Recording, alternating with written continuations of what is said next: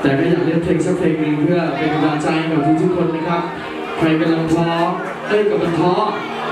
ใครกำลังท้อก็เรื่องของเขาดีวะใครกำลังท้อและใครกำลัง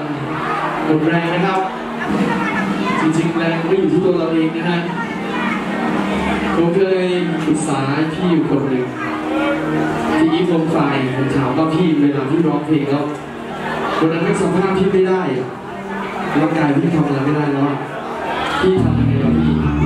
พี่ก็ตอบมาคำหนึงว่าอ่านรูปถามพี่แจ็ควงไฟเลยพี่ก็ตอบอีกคำหนึ่งว่ามันไอ้คำว่ากายมันไอ้ใจมันเหนือกายมันมันมันมีเหมือนกันนะครับพยายามยิ้มเข้าไว้ให้กำลังใจตัวเองเข้าไว้